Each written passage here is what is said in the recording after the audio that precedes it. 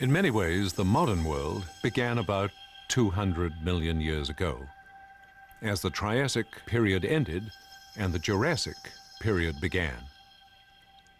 Although the world looked very different then than it does now, patterns were established that would produce the Earth we live on today. Life in the Earth's seas recovered from the mass extinction that had occurred at the end of the Triassic period. On land, the dinosaurs that had originated in the mid-Triassic diversified dramatically. Dinosaurs lived on every continent, and they ranged in size from a crow to a blue whale.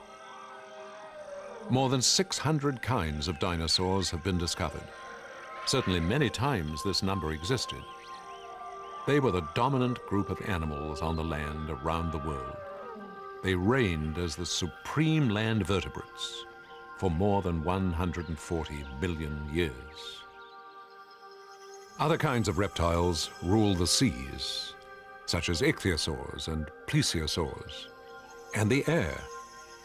Pterosaurs hunted from above, the first backboned animals to truly fly. From one branch of dinosaurs, probably small theropods like Compsognathus, evolved a group of feathered animals that could fly. The oldest of these first birds is Archaeopteryx. The Jurassic gave way to the Cretaceous, a time of great volcanic activity. The changing position of the continents altered the circulation of the oceans and distributed heat uniformly around the globe, even at the poles. The world was incredibly warm, and there may have been no ice anywhere on the planet.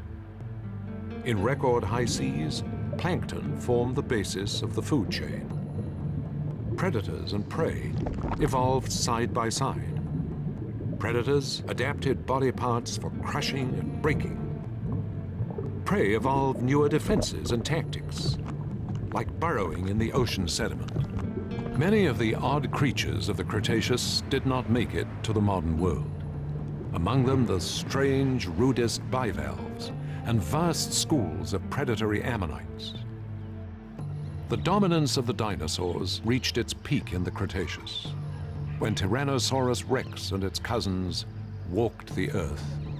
Birds evolved quickly into many forms, and so did flowering plants, alongside scores of insects that evolved to pollinate them.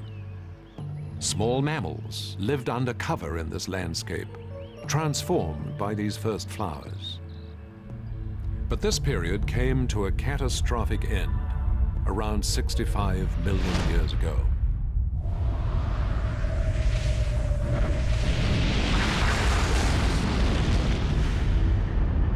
When an extraterrestrial object perhaps a comet or meteorite, hit the planet with an impact so huge that it wiped out as many as half the Earth's species, including the dinosaurs and other reptile groups. By examining rocks like the one in this exhibit, scientists have found a high concentration of elements found in meteorites right here at the time of these sudden extinctions. On land, only small animals survived, such as primitive mammals. In the oceans, this event left a much diminished cast of clams, snails, and a few others. The tertiary period began. With the dinosaurs gone, mammals adapted quickly to the new environment, evolving in a mere 15 million years from small, rat-like creatures to animals as different as whales and bats. Birds and flowers continued to diversify and expand. So did thorny snails, starfish, clams, crabs, and snapping fish in the seas, where vulnerable creatures like brachiopods and crinoids learned to survive by hiding. Around 35 million years ago, the Earth's climates began to cool and glacial ice began to form on Antarctica. The world changed from the greenhouse world of earlier eras to the icehouse climate we know today. The continents continued to separate, a process that is still taking place. The changing positions of land and sea dramatically affected the climate, where organisms move and live, how they evolved, and how the ocean circulated. These immense changes provoke adaptations in living things and continue the process of evolution. This process affects us too. We humans evolved during this latest part of this long history of change in what scientists call the Quaternary period, the time of ice and people.